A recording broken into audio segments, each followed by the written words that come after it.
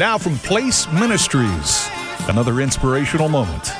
Welcome back to your place. James 4:14 says, "Why? You don't even know what will happen tomorrow. What is your life?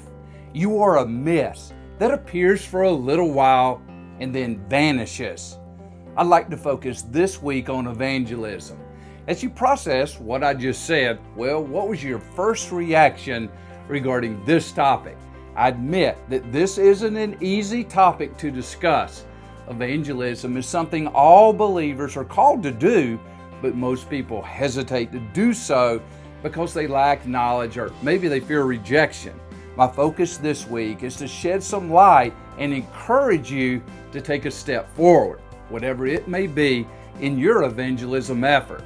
The first step I'd like to take this week is to remind you of the brevity of life as today's verse indicates.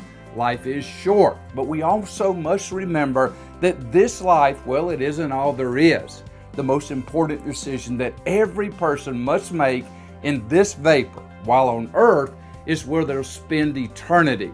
And God has put people in your life in order that you may be light and to purposely engage them in a spiritual conversation or multiple conversations. So, as you live out your place in life and ministry today, keep an eternal perspective before you.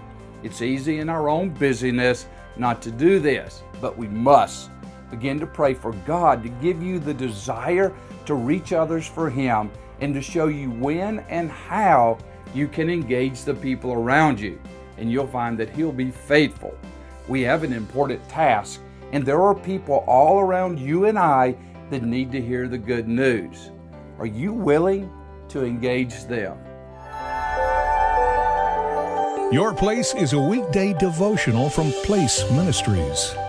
Our focus is helping followers of Christ know how and why God created them and be encouraged to do what God created them to do in life and ministry. For a list of free resources, go to placeministries.org and join us every weekday right here at your place.